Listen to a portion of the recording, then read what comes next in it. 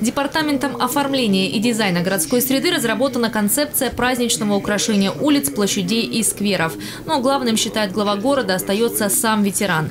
Непосредственных участников Великой Отечественной войны в Сочи 348 человек.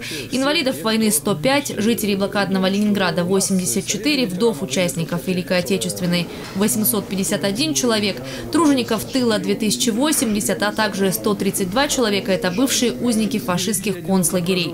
Завершена работа по закреплению школьников и студентов за ветеранами. Молодежь будет общаться с пожилыми людьми и помогать им в течение года.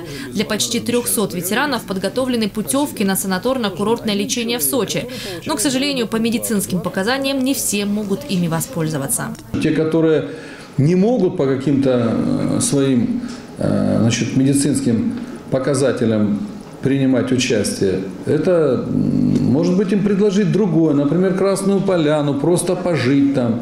Например, тот же самый восьмую больницу, где, повторяю еще раз, пожить просто в других условиях. Может быть, и не только.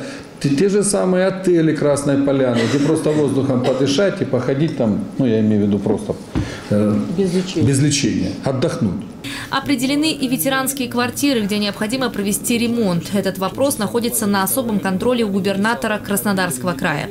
В общей сложности работы нужно провести в 26 квартирах.